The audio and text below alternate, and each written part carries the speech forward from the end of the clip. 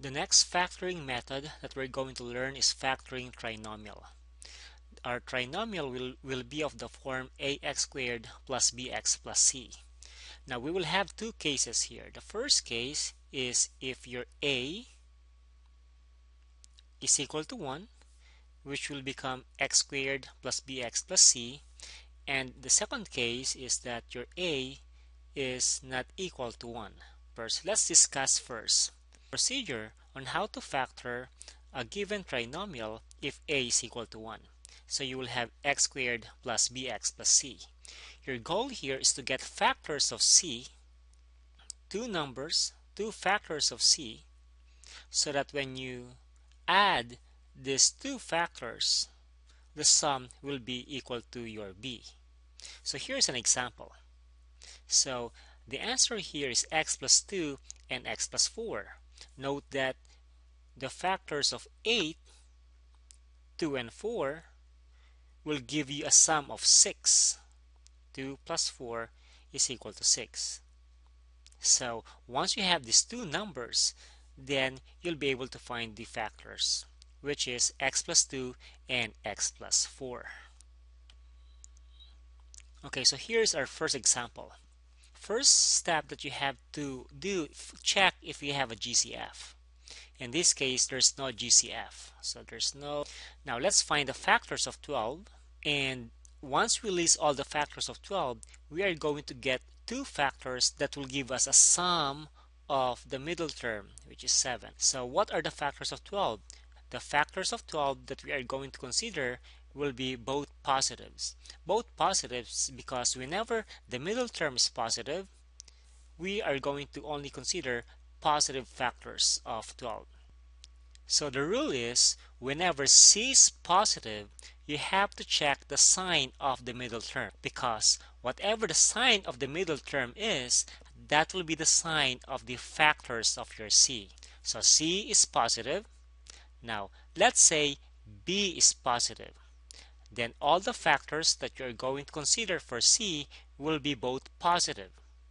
On the other hand, if C is positive, check the middle term, and if the middle term is negative, then the sign of the factors that you're going to consider for C will be negative. Here's an example.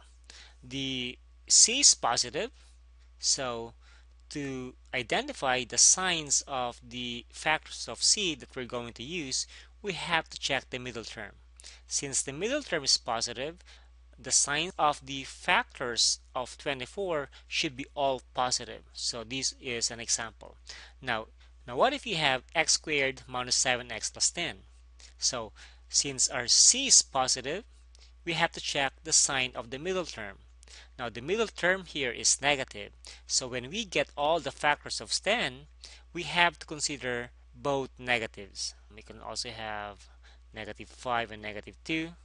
Okay, so do not include 5 and 2 because 5 and 2 are both positive.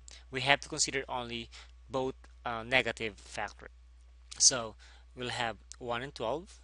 We can also have 2 and 6 and then we can have 4 and 3 now if you add 1 and 12 you are not going to get 7 if you add 2 and 6 we cannot get 7 now if you add 4 and 3 we'll be able to get 7 so this will be the factors of 12 that we are going to use. So the factors of 12 that we're going to use will be 4 and 3 when you add 4 and 3 together you're going to get the middle term 7. So to factor this, it will be quantity times quantity. You will have x plus 4 times x plus 3.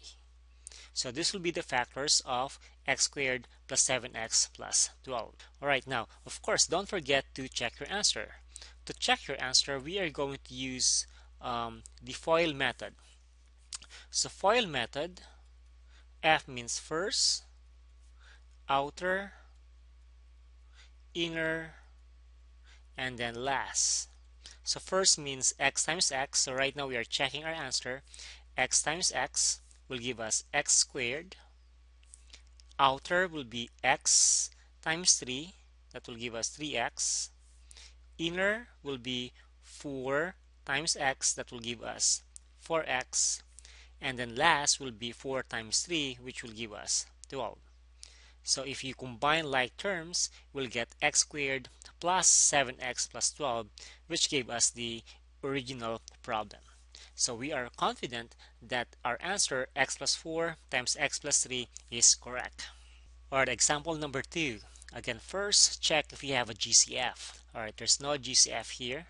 Now we need to get factors of 5y squared that will give us a sum of 6y. Note that the x variable here is the one raised to 2. So the middle term here looks like 6y x. So 5y squared here, then x squared. So we need to get the factors of 5y squared. The sum should be equal to 6y. So let's try to list all the factors of, of 5y squared. Again, before we get the factors, we have to consider the sign of the middle term. If this is positive, if this is positive, we have to follow the sign of the middle term. Okay, so the middle term is positive, so the factors that we're going to consider will be two positives. Uh, we can have only one y and then 5 y. I think these are the only two factors that we can have for 5y squared because 5 is a prime number. Now if you add 1y and 5y, can we get 6y? Yes, we can. Therefore, 1y and 5y will be the correct combination that we are going to uh, use. So the factors of 5y squared will be 1y and then 5y and when you add these two together you are going to you are going to get the middle term 6y therefore our factors will be x plus y times x plus 5y now remember we can also use x plus 5y times x plus y so either answers will be correct because of the commutative property Alright, let's do number 3. Example number 3. For example number 3, the, the last term is positive, so we have to consider the sign of the middle term. Since the middle term is negative, the factors that we are going to consider will be negative numbers. So factors of 12 that are negatives, the sum should give us a negative 8. So what are the uh, negative factors of 12? We can have negative 1 and negative 12 when you multiply this, you're going to get positive 12. But when you add, you are not going to get negative 8. Let's find another factors, negative 4 and negative 3. Multiply these two together, you'll get 12. But if you add, we are not going to get negative 8 because the sum of these two is equal to negative 7. Let's try negative 6 and negative 2. Now, negative 6 times negative 2 is positive 12 if you add these two factors together, can we get negative 8? Yes, we can. Therefore, this will be the combination that we need.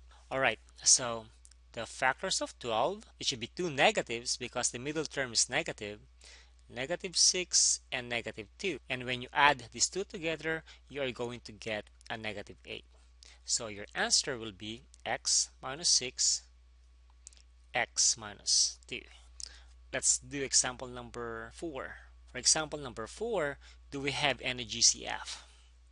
It seems like we can find a common factor here which is 3. So we'll get w squared here minus 5w plus 4.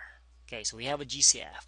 So our goal now is to factor w squared minus 5w plus 4. Now before we get the factors of 4, since this one is positive, we have to consider the sign of the middle term.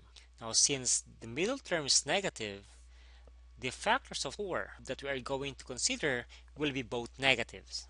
So what are the factors of 4 that are uh, both negatives? We can have negative 2 and negative 2. So negative 2 times negative 2 is 4, but we need to get a sum of negative 5. When you add these two together, you are going to get a negative 4. This is not what we need. What are the other factors of 4 that are both negative?